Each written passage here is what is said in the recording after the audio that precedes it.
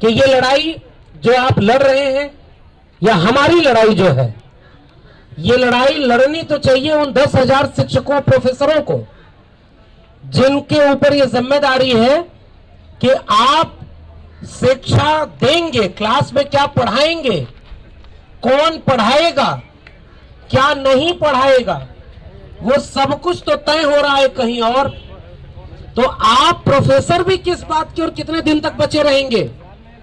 कि आपके ऊपर निर्धारित कोई और कर रहा है कि आपको क्या पढ़ाना है, क्या नहीं पढ़ाना लेकिन जो काम वो प्रोफेसर उतनी तादाद में नहीं कर पा रहे जितना उन्हें करना चाहिए। और वो विद्यार्थी जो सीधे इसके शिकार सबसे पहले होंगे। मैं तो अभी भी एडहॉक टीचर हूँ। नंदिता मैम, हम लोग के समय डूटा प्रेसिडेंट हुआ करती थी और एडहॉक कहीं लड़ने के लिए आगे नहीं आता था। बहुत कम कोई अपनी हिम्मत पर चला है जो ये सोच के आता है कि नौकरी चली भी जाए तो भी कोई बात नहीं, वो लड़ता था। लेकिन नंदिता जी के मंच पर इन्होंने हम लोगों को धक्का देकर के चढ़ाया कि अपनी बात खुद बोलो, अपनी लड़ाई खुद लड़ो। और आज लड़ते लड़ते यहाँ तक पहुँच गए कि हम कहीं भी खड़े होकर के बिना डरे अपनी लड़ाई के लिए आवाज़ उठा रहे हैं। इसके लिए इन जैसे लोगों का होना कितना ज़रूरी है। और मैं इनके सामने इसलिए बात कह रहा हूँ कि जिस ट्रेड यूनियन डूटा ने तमाम लड़ाइयाँ लड़ी और जीती थी, उनमें एक लड़ाई वो एफ़ भी थी। और वो यही दौर था, यही एक सड़क पर बारिश का समय। और मुझे याद आ रहा है, मैंने वो किस्सा लिखा भी एक जगह, कि सारे स्टूडेंट्स, टीचर मिल करके एफ़ के खिलाफ खड़े थे। और बारिश के समय जब सारे लोग तितर बितर होने लगे तो गिरे हुए बैरिकेटिंग पे खड़े होकर के नंदिता जी ने एक नज्म गाई थी कि हम देखेंगे, लाजिम है कि हम भी देखेंगे। उस तरह से वो लड़ाइयाँ लड़ी गई हैं और जीती गई। हैं कई लड़ाइयाँ हम जीते, कई लड़ाइयाँ हम नहीं भी जीत पाए। उनमें से एक लड़ाई जैसे मैं खुद उसी में पीड़ित हूँ। अब ये बताइए 12 साल मुझे एडहॉक प्रोफेसर बन के हो गया। 12 साल हो गया। अगर आज मैं पहले दिन प्रोफेसर रहता तो मैं तो प्रोफेसर बन चुका होता असिस्टेंट एसोसिएट और प्रोफेसर तो वो अब हमारा मौका नहीं है। हम किस बात के लिए लड़ रहे हैं? कि हम एडहॉक प्रोफेसर बने रहे। हमारी लड़ाई इस समय ये चल रही है। कोई न परमानेंट नौकरी देने के तैयार, न कोई ऑब्जॉर्प्शन करने को तैयार, न इंटरव्यू तैयार, और उस बीच में नई शिक्षा नीति लागू की गई है। 40 परसेंट पाठ्यक्रम ऑनलाइन पढ़ाया जाएगा। जब 40 परसेंट ऑनलाइन पाठ्यक्रम पढ़ाया जाएगा तो 40 परसेंट टीचर का क्या काम होगा?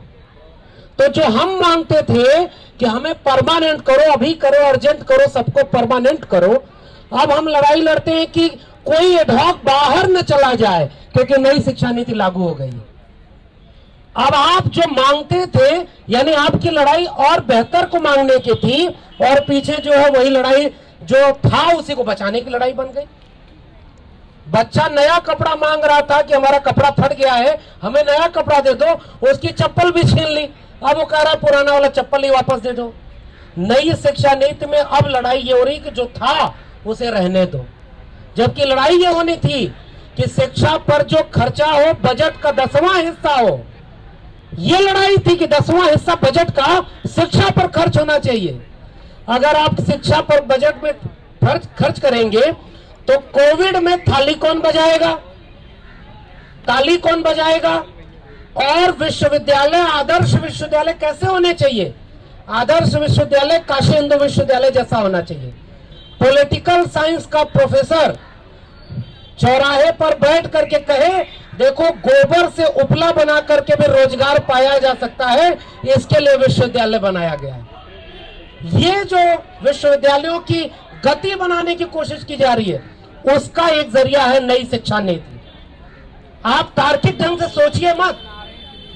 आपके सोचने, समझने की क्षमता को खत्म कर देने का नाम है नई शिक्षा नीति। एनईपी अब न्यू एजुकेशन पॉलिसी कोई कहता है, तब तक कोई राष्ट्रवादी कहता है, नहीं, राष्ट्रीय शिक्षा नीति है। तो हम कहते हैं एनईपी का मतलब न्यू एजुकेशन पॉलिसी नहीं है। नहीं एजुकेशन पॉलिसी है, यानी अब किसी को शिक्षा ही नहीं मिलेगी, उसकी रणनीति बनाई गई है। हाथी के दांत दिखाने के कुछ और और खाने के कुछ और। कहा क्या जा रहा है? कॉमन एंट्रेंस टेस्ट में, कि जिन बच्चों के बारहवीं में नंबर कम हो जाते थे, उन्हें डीयू के अच्छे या तमाम सेंट्रल यूनिवर्सिटीज के अच्छे कॉलेज में एडमिशन नहीं मिलता था। तो बीमारी तो सही पकड़ी आपने, कि एडमिशन तो नहीं मिलता था, सही बात है। अब उसका इलाज क्या ढूंढा, कि हम एक कॉमन एंट्रेंस टेस्ट देंगे। कॉमन एंट्रेंस टेस्ट का सिलेबस किसका होगा? स्टेट बोर्ड का होगा या सेंट्रल बोर्ड सीबीएसई का होगा? सवाल नंबर एक।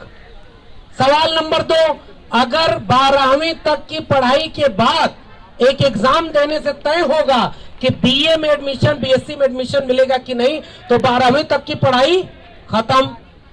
बारहवीं तक की पढ़ाई का कोई अहमियत बचेगी? सारा फोकस किस पे किया जाएगा कि वो एंट्रेंस टेस्ट पास कर लिया जाए? तो जैसे नीट आया मेडिकल में अगर एडमिशन लेना है तो लाखों रुपए की फ़ीस पहले दीजिए कोचिंग की तैयारी करिए, तब आप मेडिकल में एडमिशन लेंगे। आईआईटीज में एडमिशन लेने के लिए कोटा जाइए। लाखों रुपए की फ़ीस दीजिए, तब आपको आईआईटी में एडमिशन मिलेगा। फिर भी वो प्रोफेशनल कोर्सेज थे। उन प्रोफेशनल कोर्सेज के बाद एक भरोसा तो होता था कि कोई रोज़गार मिल सकता है। ये अलग बात है कि बीटेक वाले भी आजकल मुद्रा लो, योजना में लोन लेकर के उसको भर नहीं पा रहे कोई रोज़गार कहीं नहीं मिल रहा है। बीए करने के लिए लाखों रुपए की फ़ीस देकर के आप कोचिंग करेंगे पहले और उसके बाद आपको एडमिशन मिलेगा कि नहीं, ये तय हो गया। अब आप बताइए, बीमारी पकड़ी गई सही और इलाज क्या दिया गया? ये सबसे बड़ी चुनौती है। दूसरा सवाल, अगर कॉमन एंट्रेंस टेस्ट होगा तो कोचिंग का एम्पायर तो खड़ा होगा ही होगा। तो कोचिंग कहाँ खुलेगी? दिल्ली में खुलेगी, लखनऊ खुलेगी, पटना खुलेगी, और गाँव गाँव में कोचिंग कहाँ कोई खुल सकती है क्या? कंप्यूटर पर बैठकर मल्टीपल चॉइस क्वेश्चन का आंसर कौन दे सकता है? जिनकी पीढ़ियों में लोगों ने हाथ से कलम तक नहीं पकड़ी, उनके बच्चों की उंगलियाँ कंप्यूटर पर जाने पर थरथराती हैं। इसे कहते हैं कल्चरल हेजमनी वो जो कल्चरल हेजमनी जिसके पास नहीं है, जो पहली बार अपने बच्चों को दो रुपए अगर बचाया दिन भर में तो उसने सोचा कि पहली बार मेरा बेटा या बेटी अगर स्कूल पढ़ने जाएगा तो मुक्ति दिलाएगा हम सबको।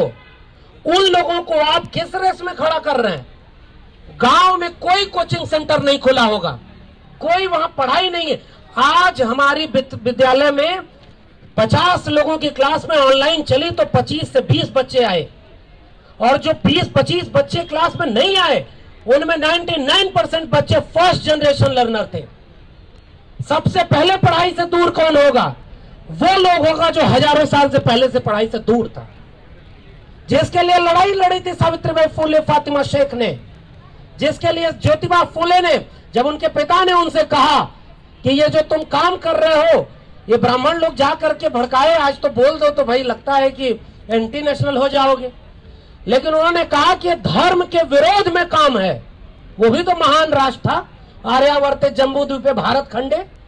वहाँ पर क्या था कि शिक्षा देना, सूत्रों और महिलाओं को शिक्षा देना धर्म के विरोध में और तब पिता ने कहा कि तुम या तो अपने स्कूल चुनो या अपना घर चुनो। ज्योतिबा फूले, सावित्रीबाई फूले ने कहा कि हम स्कूल चुनते हैं हम आपका घर छोड़ देंगे।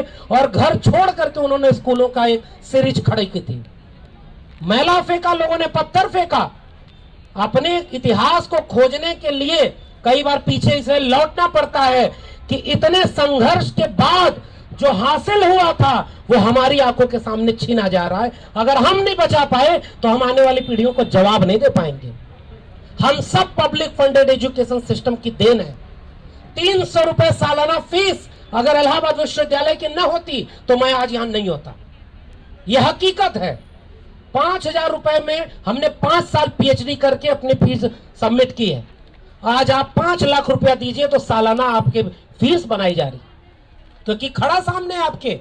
उदाहरण, Ashoka Galgotia lovely professional university में एक बार पता करके देखिए कि कितने दलित पिछड़े कामगार लोगों के मेहनत कश लोगों के बच्चे वहाँ पढ़ाई करते हैं।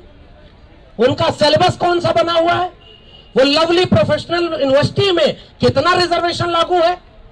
और वो आइडिया ऑफ़ इंडिया की बात करते हैं, सबका साथ, सबका विकास, सबका विश्वास। वही वाली बात है। 80 20 का नारा देकर चुनाव जीतेंगे और जीत रहे हैं वो। तो उन्हें पता है कि इस जनता को शिक्षा की ज़रूरत नहीं है। इन्हें एक सिनेमा, एक फ़िल्म दिखा दो। ये सिनेमा हॉल में बैठकर दंगाई बन सकते हैं। हम वहाँ खड़े हैं। इसलिए हम शिक्षा बचाने की लड़ाई लड़ने की बात करें। एक सिनेमा पर दंगा हो रहा है इस देश में और कौन लोग तैयार किए जा रहे हैं? आपको जहर दिखाया जा रहा है। अरे हम भी कहते हैं, कश्मीर फ़ाइल बना रहे हो तो जरा एक एजुकेशन फ़ाइल बना दो और दिखाओ कि एकलव्य का अंगूठा क्यों काटा गया था? शंभू को क्यों मारा गया था? ज्योतिबा फूले पर पत्थर क्यों मारा गया था? हिम्मत है तो दिखाओ। वो इसी भारत की कहानी है। आज इस देश में सब कुछ नफरत इसीलिए फैलाने में कामयाब है क्योंकि ये तालीमी इदारे बर्बाद हो रहे हैं। तो नई शिक्षा नीति को वापस कराने की लड़ाई हमारे आने वाली पीढ़ियों को बचाने की लड़ाई है। यही बात मैं कह के जा रहा हूँ, क्योंकि इन पर्चों में और बाकी वक्ताओं ने क्लॉज बाई क्लॉज और कहने को तो हमने भी कहा है। हमने एक एक पन्ना, हमने कहा कि उन लोगों को बिठाओ, हमारे सामने हम बैठा के बता देंगे कि कहाँ कहाँ ये वो नीति है जो आपके बच्चों का भविष्य बर्बाद कर रही है। लेकिन भाई, बर्बाद करेगा तभी तो नाली के गैस से चाय भी बनेगी। बादल आ गए तो रडार काम नहीं करेगा। और पढ़ाई लिखाई उनकी देखिए, टेलीप्रॉम्प्टर बंद हो गया तो अपना वाक्य पूरा नहीं कर पाए और आज वो आने वाली पीढ़ियों की शिक्षा नीति बना रहे हैं। वाक्य पूरा नहीं हो पाया, टेलीप्रॉम्प्टर बंद हो गया तो। आज आपको ये बात समझ में नहीं आ रही कि आप अपनी सियासी कुर्सी के लिए पूरी शिक्षा को बेच रहे हैं निजी हाथों में। किसान समझ गए और किसानों ने लड़ाई लड़ ली। उन तीन कृषक कानूनों में कहीं साफ़ लिखा थोड़े ही था कि अब खेती किसानी बिकेगी, अंबानी, अडानी खरीदेंगे, कहीं सीधे नहीं लिखा था लेकिन किसान समझ गए कि ये पॉलिसी अंततः हमारी फ़सलों और नस्लों को उन अंबानी, अडानी के हाथों बेच देगी। कोविड काल में 12 करोड़ नौकरियाँ चली गई और दो सौ छप्पन गुना मुनाफा बढ़ गया अंबानी का, अडानी का। तो एक तरफ़ देश बर्बाद हो रहा है, एक तरफ़ कौन उसका मुनाफा कमा रहा है? ये नई शिक्षा नीति, इसमें साफ़ भले नहीं लिखा है, लेकिन आने वाले वक्त में ये विश्वविद्यालय जो पब्लिक फंडेड राज्य की ज़िम्मेदारी क्या होती थी? कि किसी की जेब में पैसा है या नहीं? किसी की जाति कौन सी है? धर्म कौन सा है? क्षेत्र कौन सा है? भाषा कौन सी है? इससे ये तय ना हो जाए कि उसको तालीम मिलेगी या नहीं मिलेगी। ये स्टेट की ज़िम्मेदारी है। वेलफेयर स्टेट का मतलब क्या था? आइडिया ऑफ़ इंडिया का मतलब क्या था? पढ़ेगा इंडिया तभी तो बढ़ेगा इंडिया और यहाँ जब पढ़ेगा इंडिया और लड़ेगा इंडिया हो गया तो आप कह रहे हैं, न पढ़ने देंगे इंडिया को और न लड़ने देंगे। उस जगह पे हम खड़े हैं। इसलिए आखिरी बात ये कह करके आपसे विदा ले रहा हूँ कि हमें नहीं पता कि हम ये लड़ाई जीतेंगे या हारेंगे। मगर लड़ाइयों का इतिहास केवल जीत हार से नहीं तय होता। इस बात से भी तय होता है कि जिस दौर में लड़ाई लड़ी जानी थी पूरी शिद्दत से वो लड़ाई लड़ी गई कि नहीं लड़ी गई? हम उस शिद्दत से लड़ने के हक में हैं और इस लड़ाई को बुलंद कीजिए। लड़ेंगे, जीतेंगे। इनकलाब जिंदाबाद। जय भीम, जय मंडल, जय संविधान।